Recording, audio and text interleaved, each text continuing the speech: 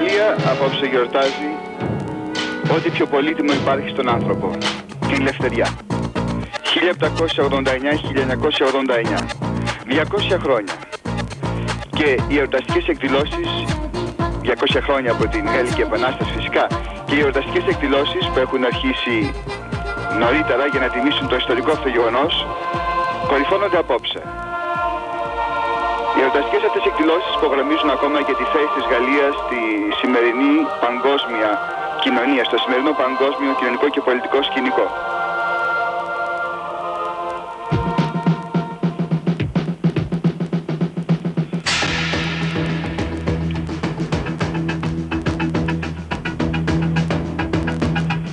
Οι εκδηλώσεις κορυφώνονται απόψε 14 Ιουλίου με το υπερθέαμα του Jean Paul Goude του Αμερικανογάλους Cecil Demille της Γαλλίας La Marseillaise, η Μασαλιότητα.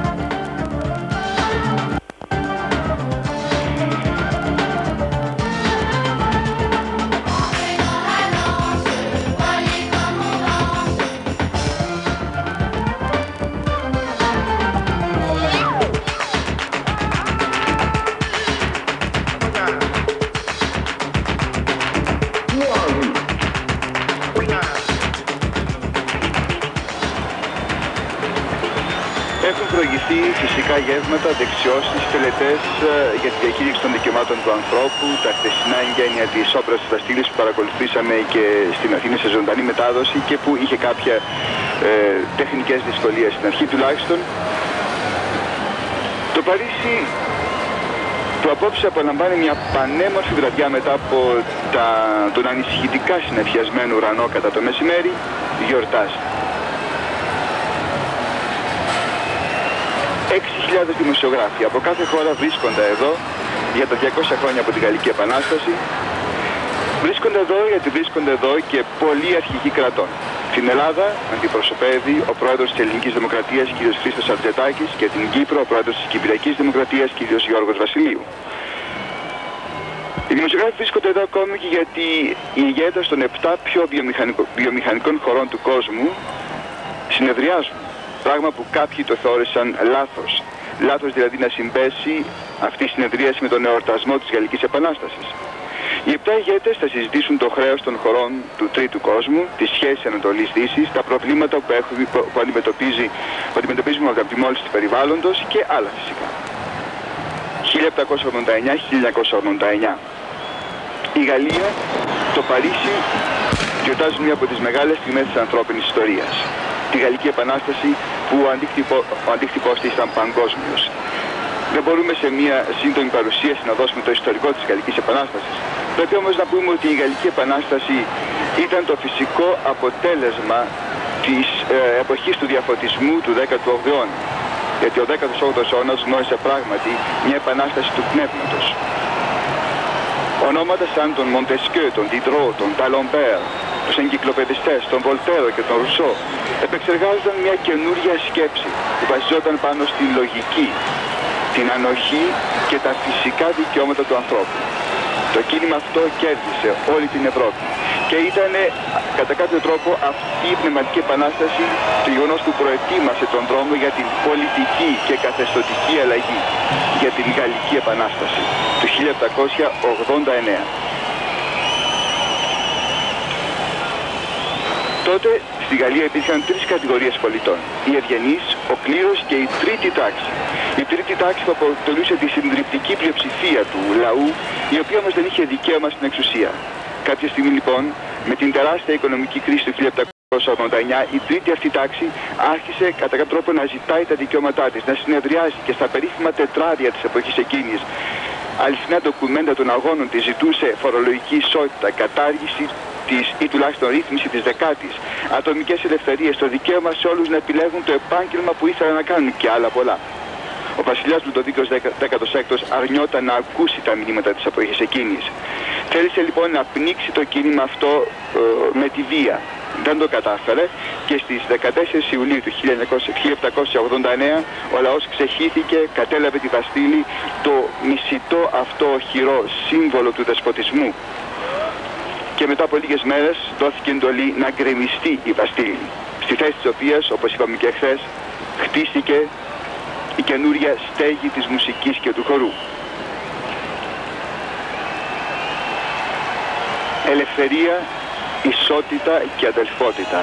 Πραγματικά τρεις λέξεις αγάπης που γεμίζουν το Παρίσι σήμερα. Και το πιστεύω της Γαλλικής Επανάστασης, ένα από τα πιστεύω ήταν ότι οι άνθρωποι γεννιούνται και παραμένουν ελεύθεροι και με ίσια δικαιώματα.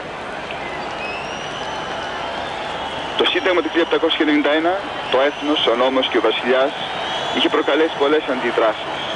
Αλλά οι φιλελεύθερες ιδέες επικρατούσαν όλο και περισσότερο μέχρι τέλος που έγινε μια καινούρια αλλαγή. Ο βασιλιάς συνελήφθη από την, όταν έκανε η Σον Κιλότα έκανε την επιδρομή του στα άκτορα των Τουιλερί και εκτελέστηκε το Γενάριο του 1793. Αυτή όμως η επανάσταση, απειλούμενη από ξένες χώρες, με εσωτερικές εξεγέρσεις, γινόταν όλο και πιο ριζοσπαστική. Οι, οι συγκρούσεις στο εσωτερικό της πιο έντονες. Οι Ιακωβίνοι, υπέρμαχοι μιας πιο ισχυρής κεντρικής εξουσίας, έδιωξαν τους Γυροντίνους τον Ιούνιο του 1893 και είδωσαν την Επιτροπή Δημόσιας Ασφάλειας με, τις γνωστές, με τη γνωστή εποχή του τρόμου, του στερέρ που ακολούθησε. Τέλος, ο Ροβεσπιέρος, που ορισμένοι τον θεωρούσαν δίμιο της Γαλλίας, εκτελέστηκε και αυτός την 9η Θερμιδόρ η 27 Ιουλίου 1794. Αυτό σήμανε και το τέλος της επαναστατικής κυβέρνησης που βασιζόταν στο αξίωμα της ισότητας. Οι λέξεις ελευθερία, ισότητα και αδελφότητα δεν άρχισαν να γίνουν με το Σύνταγμα του 1795. Ελευθερία, ισότητα, ασφάλεια και ιδιοκτησία. Η Γαλλία πάντα γιόρταζε με χορό, με τραγούδι, με γιορτές την επέτειο αυτή της Επανάστασης. Και το 1889, γιορτάζοντας τα 100 χρόνια, έκανε τη μεγάλη διεθνή έκθεση που άφησε πίσω της σαν σύμβολο τον πύργο του Άιφελ, τεχνολογικό θαύμα για την εποχή του και σύμβολο του Παρισιού. Και λέει ότι ο ποιητής μας Γιάννης Ρίτσος για την επανάσταση εκείνη σε ένα ποίημά του εσύ Γαλλία, εσύ αδερφή μας που φώτισες όλο τον κόσμο με 1789 πυρκαγιές. Εσύ που έστειλες 1789 περιστέρια με ένα κλονάρι μυγδαλιά στο ράμφο τους. Εσύ που έστειλες 1789 χελιδόνια στο τηλεγραφικά σήματα του ουρανού να τραγουδήσουν την πρώτη πρώτη άνοιξη της γης μας. Εσύ Γαλλία γιορτάζεις. Τώρα το 1989 οι γιορτές αυτές έχουν ένα μεγάλο τριαντικό χαρακτήρα είναι ακόμα πιο μεγαλειώδης. Με την παρουσία τόσων ηγετών έχουμε πρωτοφανή μέτρα ασφαλείας στο Παρίσι. 30.000 αστυνομικοί και μυστικοί περιπολούν τους δρόμους και φυλάνε κάθε γέφυρα της πόλης. Το αερόστατο που βλέπετε είναι η ηλεκτρονική παρακολούθηση για το φόβο τρομοκρατικών επιθέσεων. Το κέντρο της πόλης έχει αποκλειστεί για τα αυτοκίνητα, πράγμα που ξεσήκωσε στήλα διαμαρτυριών και έκανε πολλούς Παριζιάνους να εγκαταλείψουν την πόλη, αφήνοντάς τη στους επαρχιώτες, οι οποίοι από όλη τη Γαλλία έχουν πλημμυρίσει την πρωτεύουσα και στους ξένους εμάς.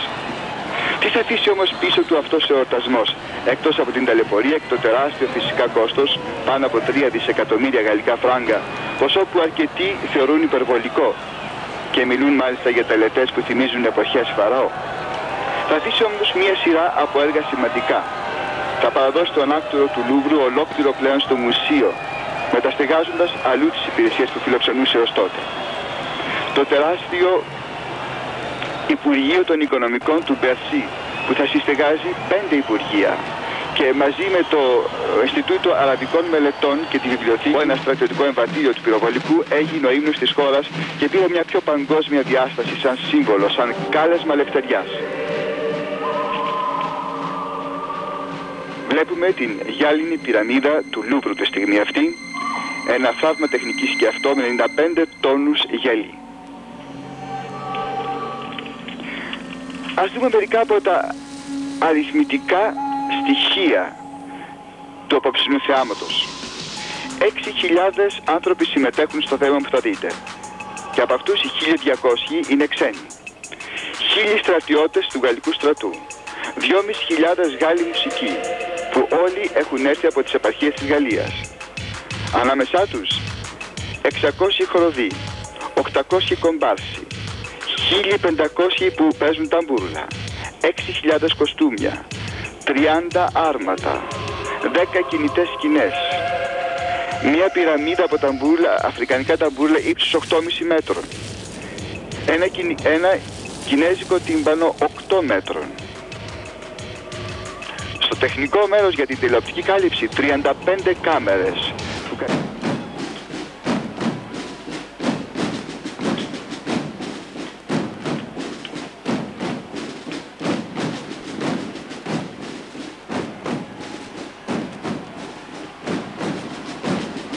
και βλέπουμε 40 ταμπούλα που με το τεράστιο κινέζικο τύμπανο και ποδηλάτες από την Κίνα εδώ πρέπει να πούμε ότι το Μάρτιο είχε πάει το συνεργείο του Jean Paul Good στην Κίνα και είχαν όλοι εντυπωσιαστεί από τον ενθουσιασμό και τη δημιουργική φαντασία των Κινέζων στο κάλεσμα αυτό.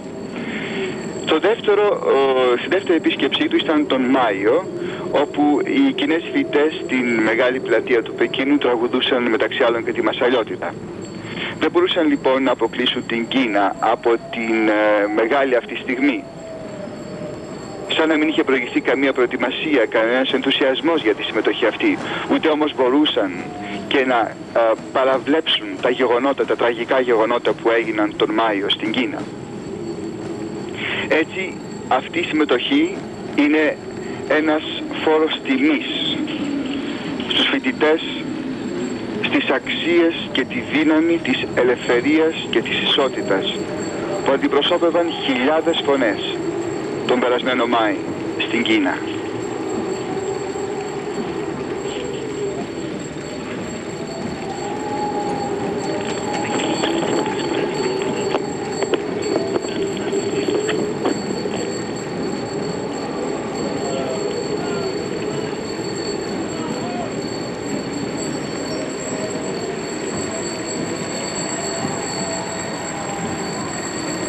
Αυτό το κινέζικο άρμα θα ήταν το ξεκίνημα μιας μεγάλης γιορτής, μια, της χαράς, της ελευθερίας και της ισότητας. Το βλέπετε να περνάει με τον ήχο των ταμπούρων μόνο, χωρίς μουσική, με το σήμα της ελευθερίας και της νίκης που κάνανε όπως είδατε οι φοιτητές, ακριβώς αποδίοντας φόρο τιμής σε αυτές τις ιδέες.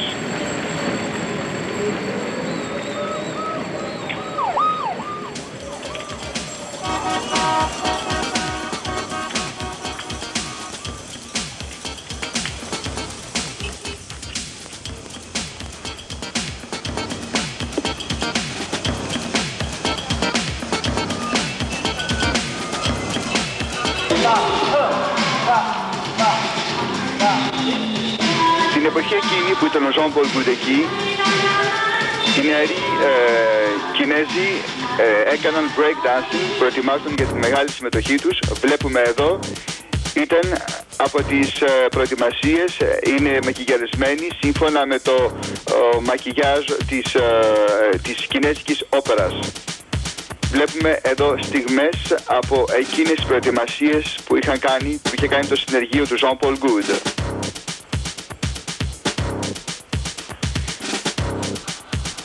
Όλοι αυτοί ε, οι χωροί είναι ε, πειρασμένοι από το τσίρκο του Πεκίνου με ε, φυσικά της ε, καινούργια ιδέα του street dancing ή του break dancing.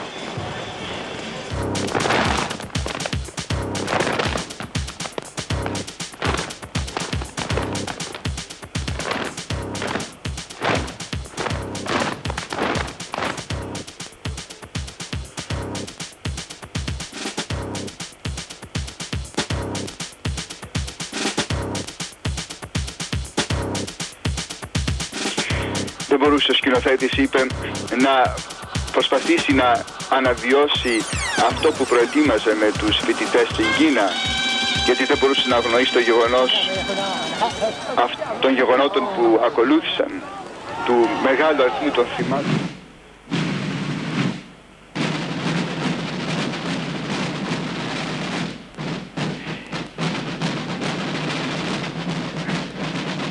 Είναι 1200 τύμπανα και ε, αντιπροσπέδει κατά κάποιο τρόπο την ιδέα της Γαλλίας, την ιδέα του έθνους και αντιπροσπεύει επίσης τις ε, ε, κοινότητες ε, του Παρισιού. Ε, συγγνώμη, τις κοινότητες της Γαλλίας.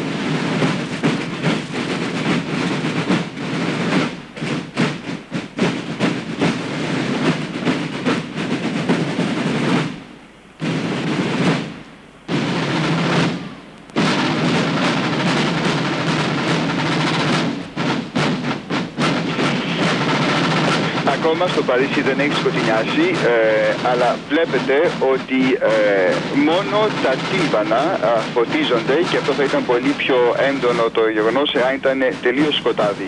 Γιατί αυτή ήταν η αρχική ιδέα. Να φαίνονται μόνο το φωτισμένο τύμπανο και όχι οι τυμπανιστές.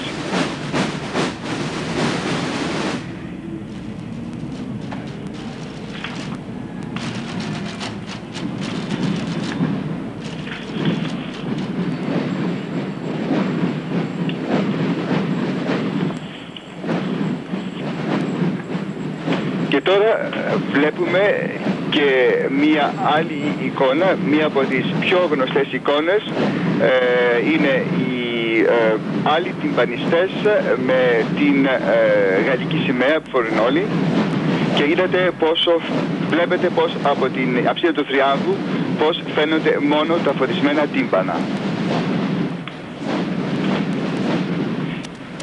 και αυτό αντιπροσωπεύει όλες τις ε, γαλλικές επαρχίες και θέλει να δώσει την έννοια ενός έθνους ε, το οποίο θα είναι πάντα ενωμένο. Του γαλλικού έθνους φυσικά.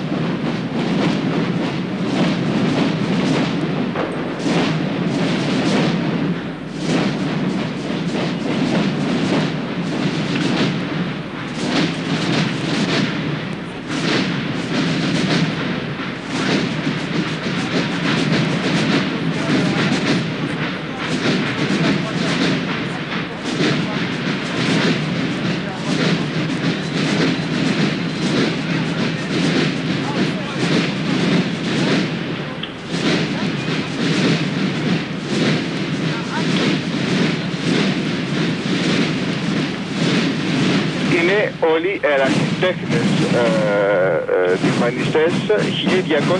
1250 στον αριθμό και βλέπετε πως ε, και στιγμή να υπογράψει το Σύνταγμα του 1791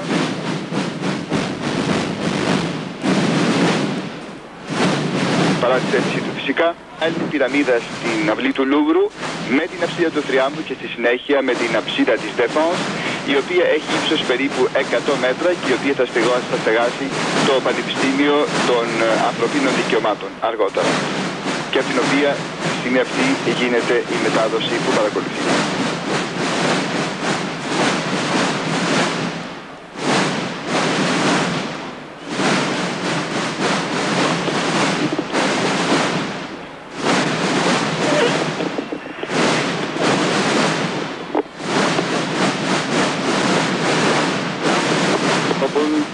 Στους πολέμους και στην διεκδίκηση των ε, ελευθεριών τους.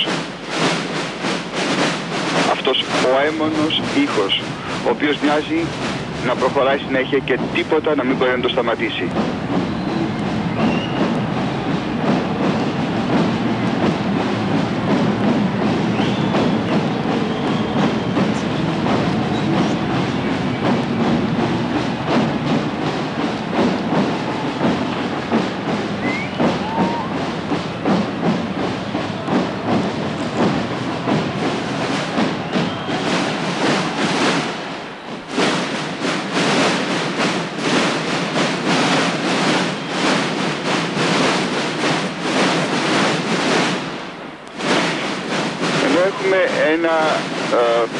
Πάντρεμα που γίνεται θεληματικά του, ε, της συναυλίας που έχει αρχίσει στην πλατεία της Κονκόρδα, στην πλατεία της Ομονίας ε, και του ήχου των τυμπάνων ε, που κατεβαίνει ε, την λεωφόρο των Εκκλησίων Πεδίων. Βλέπετε τώρα πιο κοντά τους περίφημους ε, ε, jongleurs, θα λέγαμε, ε, με τις σημαίες.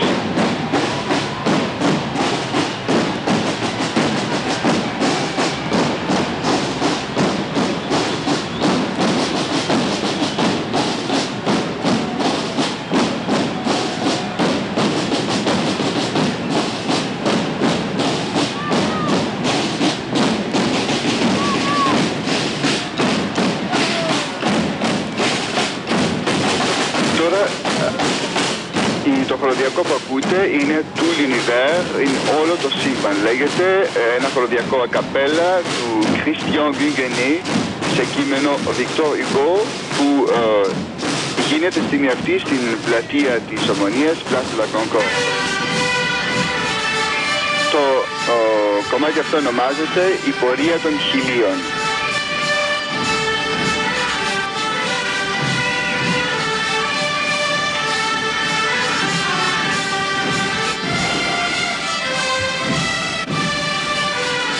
Πίσω την Μασαλιώτιδα.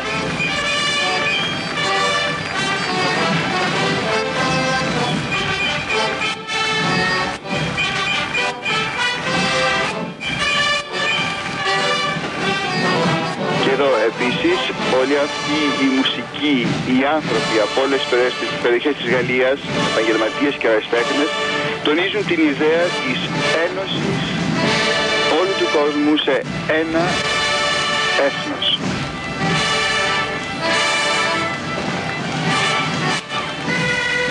Είναι ε, κατά κάποιο τρόπο ο θρίαμβος της ενότητας και της αδελφότητας. Δύο λέξεις βασικές της Γαλλικής Επανάστασης. Α, λάθος, είναι αυτές οι περίφημες ε, χορεύτριες του Βάλς. Είναι ε, τεράστιες ε, χορεύτριες θα λέγαμε με φουστάνια που έχουν ε, διάμετρο πάνω από 7 μέτρα. Ε, και κρατάνε ένα παιδάκι από ο, μια διαφορετική χώρα και ακριβώς για να τονίσουν την παγκοσμιότητα της ιδέας της ελευθερίας, της ισότητας και της αδελφότητας. Και όπως βλέπετε ε, το τεράστιο αυτό φουστάνι καλύπτει ε, το όχημα το οποίο της, ένα είδος οχήματος που της μεταφέρει ε, σαν να χωνεύουν βάλες. Στο μεταξύ, ε, ο ήχος που ακούμε δεν έχει καμία σχέση με αυτό που βλέπουμε. Είναι από την πλατεία της Ομονίας και είναι ε, τραγουδίστριες από αραβικές χώρες, οι οποίες βρίσκονται πάνω σε στήλους ύψους 5 μέτρων, με φουστάνια που φτάνουν μέχρι το έδαφος.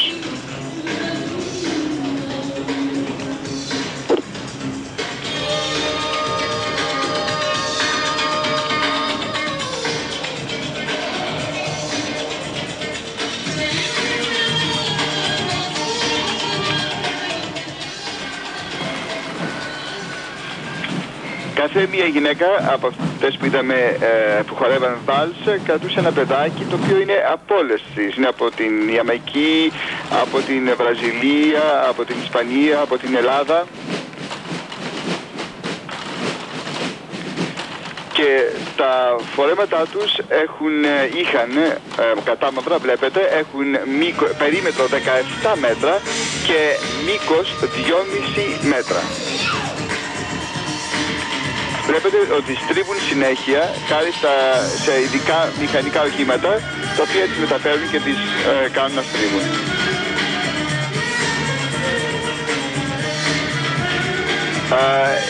Στη μουσική που ακούτε, η μουσική του Michel Hardy είναι λίγο μουσική funky και ε, συνδυάζει μουσικούς ήχους από όλα τα μέρη του κόσμου.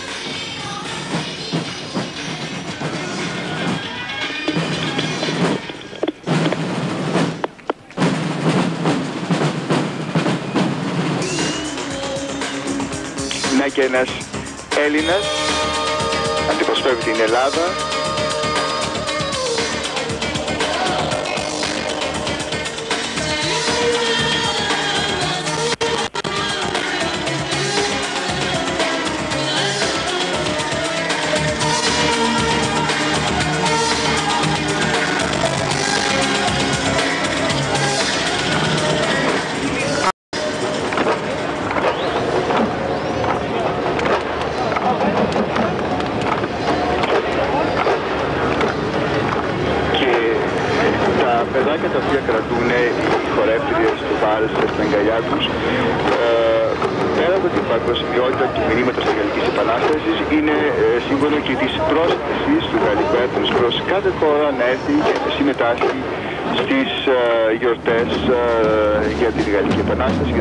για τα 200 χρόνια της Γαλλικής Επανάστασης και συγκεκριμένα στην Μασαγιότητα, La Marseillaise, που παρακολουθούν τη στιγμή αυτή και μαζί μας παρακολουθούν και πολλές άλλες χώρες του κόσμου σε ζωντανή μετάδοση.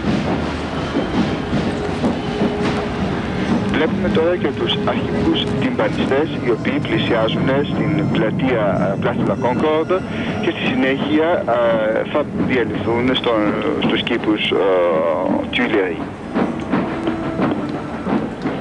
Μια πιο συνοπτική γενική εικόνα που δείχνει όλη την εξέλιξη της ε, ε, παρέλασης αυτής που ο Jean Paul Goutte δεν τη βλέπει σαν παρέλαση, αλλά όπως είπα ήδη, που τη βλέπει σαν ε, μια, ο- ένα, ε, μια όπερα μπαλέτο.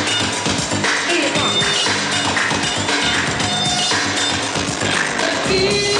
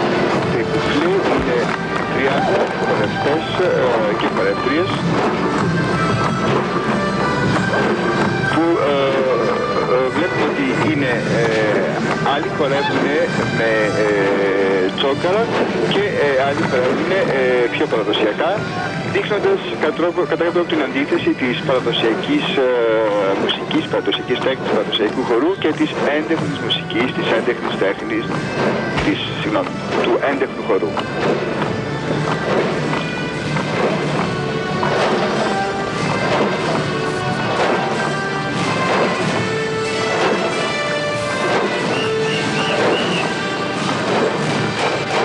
Και βλέπουμε ε, πάλι την φωτογραφία του Φιλίπ Κουφλέ που όπως είπαμε είναι η αντίθεση του έντεχνου χορού και του ε, παραδοσιακού χορού.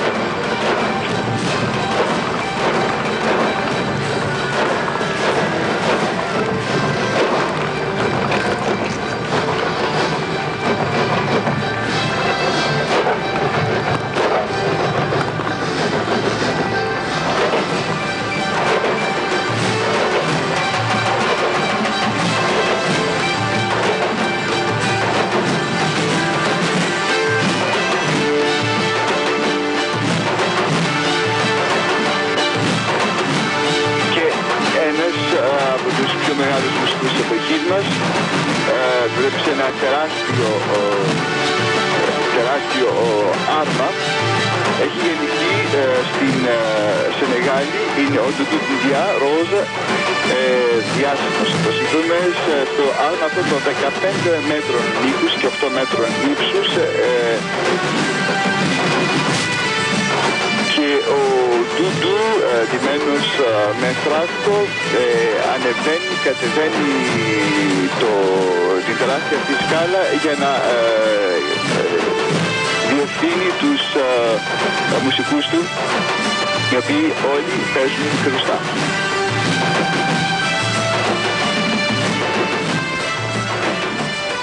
Το άρμα αυτό ε, έχει ολόγυρα 292 ο ανθρώπους που κρατούν το άρμα και κρατούν ε, δάδες.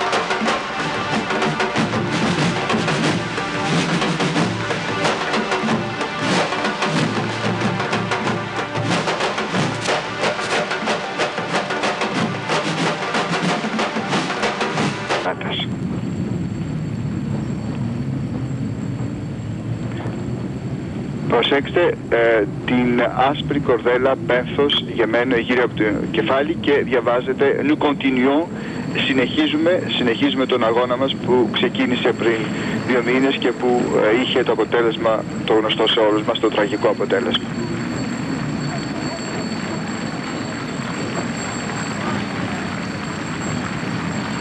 Και ε, μερικών τα πρόσωπα, όπως βλέπετε, είναι δεμένα ακριβώς και να συμβολήσουν ε, την χαμένη ελευθερία, την χαμένη ελευθερία του λόγου.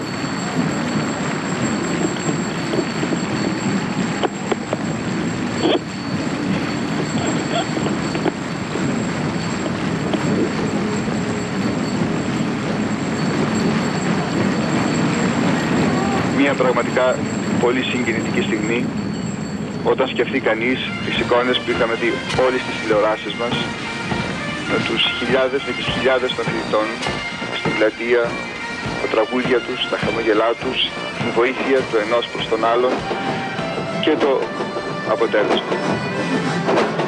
Και επιστρέφουμε στις, α, στους χορευτές του Ντεκουφλέ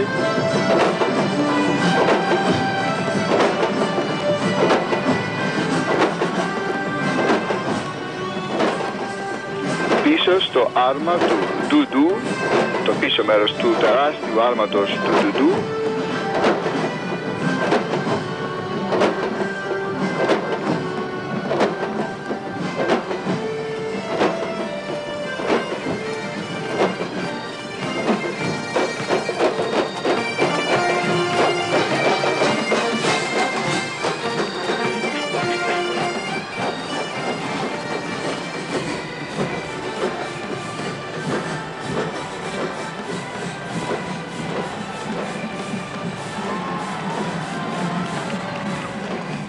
πλατεία Σομονίας ο κόσμος έχει σηκωθεί όρθιος για να και είδαμε ένα πρόγραμμα το οποίο ήταν απλώς μια ε, παρέλαση γνωστών ονομάτων της όπερας, κυρίως ξένων και όχι τόσο Γάλλων ε, που είπαν ε, καθένας από μια άρια και μετά έφυγαν χωρίς να δούμε κόσμο να χειροκροτεί, να, να, να νιώσουμε το θέατρο αυτό.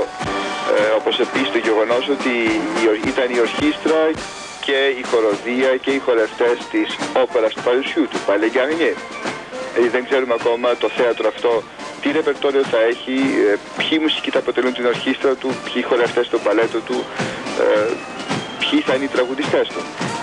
Είναι γεγονός όμως ότι το Παρίσι απόκτησε άλλο ένα καινούριο θέατρο με πολλά μεγάλα τεχνικά μέσα για να στεγάσει θέαμα όπερας και χορού.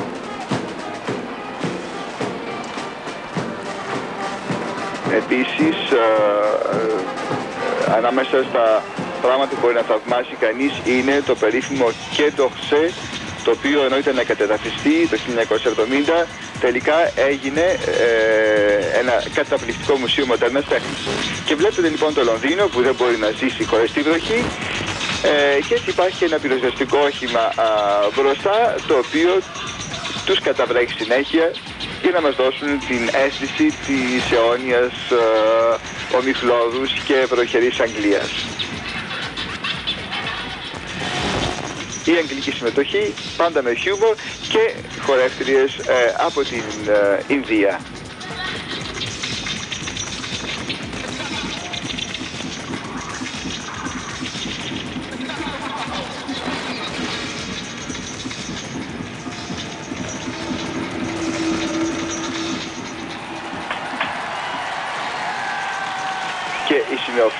uh, uh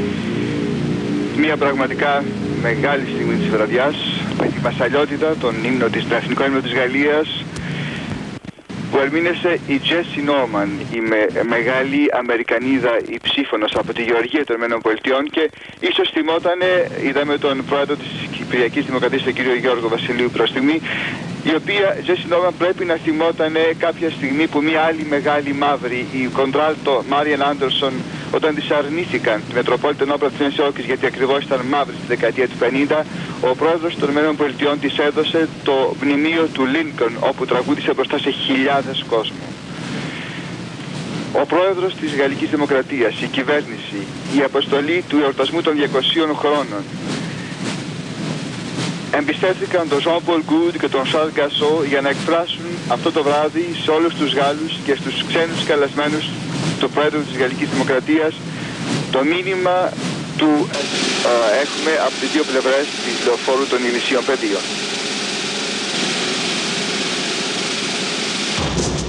Γύρω από την αψίδα του Θριάμου.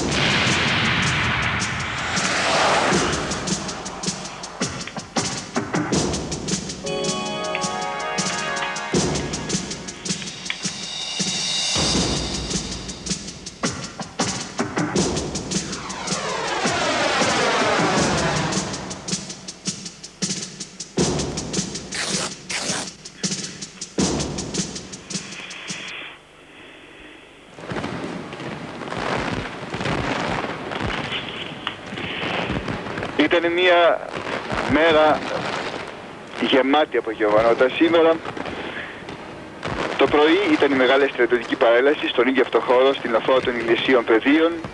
Κατόπιν ε, είχαμε το Garden Party του πρόεδρου, του πρόεδρου της Γαλλίας κ. Φρανσουά Μιτερόν ε, γεύμα των επισήμων με τον πρόεδρο της Βουλής Λογόν Φαμπιούς Κατόπιν το απόγευμα οι 7 ηγέτες των πλουσιότερων χωρών που συμμετέχουν στη διάσκεψη ε, των πιο βιομηχανικών κρατών χωρών της, ε, του κόσμου ε, είχαν ε, εγγενιάζουν τη σύνοδό τους με την, εγγενίασαν τη σύνοδό τους με την κλασική οικογενειακή ας πούμε φωτογραφία στο Λούβρο. Στη συνέχεια θα είχαν, είχαν ένα δείπνο εργασίας στο Υπουργείο ε, του Ναυτικού και κατόπιν ε, ήταν και είναι η μεγάλη αυτή βραδιά. Στις 15 και στις 16 Ιουλίου θα πραγματοποιηθεί η Σύνοδος των Βιομηχανικών Χωρών στο νόμερο της Αψίδας στη Δεφόνς, τις οποίες τα επίσημα εγγένεια είναι για τις 18. Και στις 15 Ιουλίου το βράδυ ο Δήμαρχος του Παρισιού ε, θα έχει τα παραδοσιακά, πατροπάρδο θα λέγαμε, πυροτεχνήματα που συγκεντρώνουν, ε, που προσελκύουν χιλιάδες κόσμου κάθε ε, χρόνο στο Τροκαντερό. Και επιστρέφουμε στην παρέλαση και βλέπουμε εδώ τους ε, αντιπροσώπους της Σοβιετικής Ένωσης ε, με ε, αληθινούς στρατιώτες από, τον, από το μαυσολείο του Λένιν 26 τυμπανιστές 16 σημεοφόρους με ε, σημαίες από την ε, Οκτωβριανή Επανάσταση.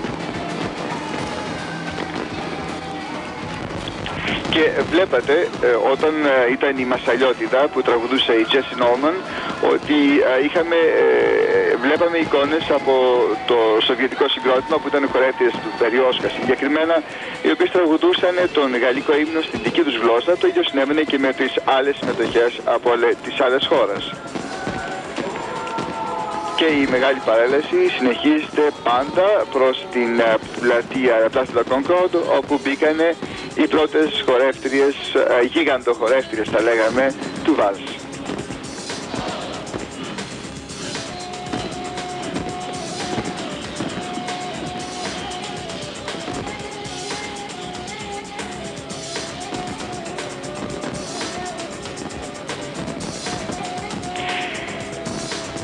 Είναι μια εβδομάδα εξοντοτική και για τους καλεσμένους αλλά και για τους δημοσιογράφους, 6.000 δημοσιογράφους που βρίσκονται εδώ, οι οποίοι καλούνται να καλύψουν όλα αυτά τα γεγονότα που συμβαίνουν σε όλα τα σημεία του Παρισιού συνέχεια.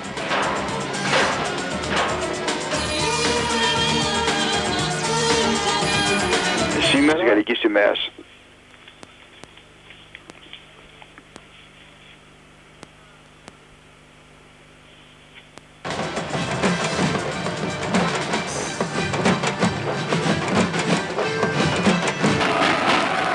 Τεχνητό χιόνι.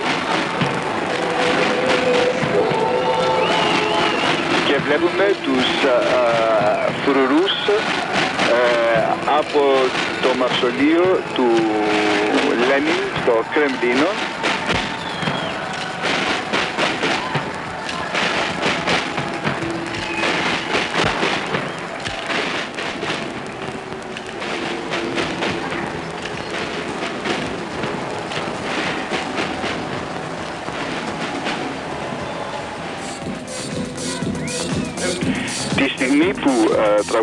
Τζέσι Νόρμαν την Μασαλιώτηδα στην ε, πλατεία Ομονίας. Όλη η πορεία αυτή σε όποιο σημείο και βρισκόταν όλοι οι συμμετέχοντες είχαν ακινητοποιηθεί γιατί ε, μεγάφωνα μετέφεραν τη μάρα μας. Θυμίζει μια ανάλογη παλιά ταινία του Ζων Καπά. Θυμόσαστε ταινίες που έχουμε δει, η μάχη των σιδηροδρόμων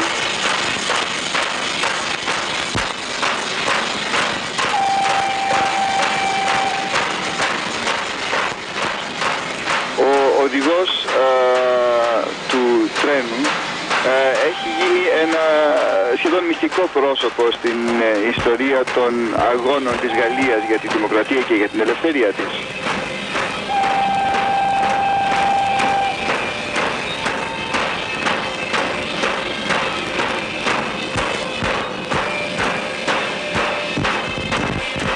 Το θέμα των Άγγλων είναι, όπως είδατε και μόνοι σας, το κρύο.